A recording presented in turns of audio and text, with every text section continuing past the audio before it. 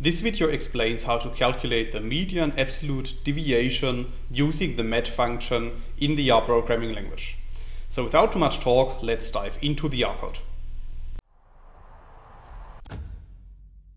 In this video I will show you several examples and the first example is based on the vector object that we can create with line 2 of the code. So if you run this line of code you can see at the top right of RStudio that we have created a new data object which is called x and this data object contains eight different numeric values. Now let's assume that we want to calculate the median absolute deviation of this vector object. Then we can apply the mad function as you can see in line 4 of the code. And within this function we simply need to specify the name of the vector object for which we want to calculate the median absolute deviation. So if you apply line 4 of the code, you can see at the bottom that a new output is returned which is showing the value 2.2239 and this value is the median absolute deviation of our vector object x. So in this first example I have explained how to calculate the median absolute deviation of a vector object. However, it's also possible to calculate this metric for a data frame column and this is what I want to show you in the next example starting in line 6 of the code. So in line 6 of the code, I'm loading an example data frame, which is called iris.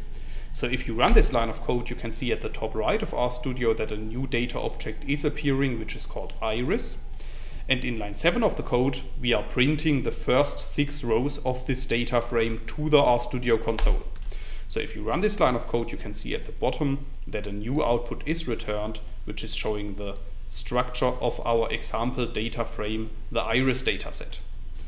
Now let's assume that we want to calculate the median absolute deviation of the column Sepal length. Then we can apply the mad function as you can see in line 9 of the code. And in this line of code I'm specifying the name of our data frame, so the data frame is called iris. And then I'm using the dollar operator to extract the values of the column Sepal length. And to this I'm applying the mad function.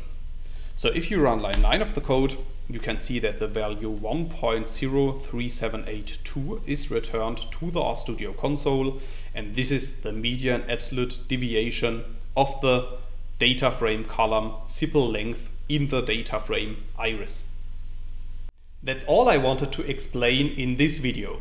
In case you want to learn more on this topic, you may check out my homepage, statisticsglobe.com, because on my homepage I have recently published a tutorial in which I'm explaining the content of this video in some more detail. I will put a link to this tutorial into the description of the video so you can find it there. If you have liked this video or if you have any questions, let me know in the comments section below. I'll try to respond to all comments as soon as I can. Furthermore, make sure to subscribe to my YouTube channel to get notified about future video releases.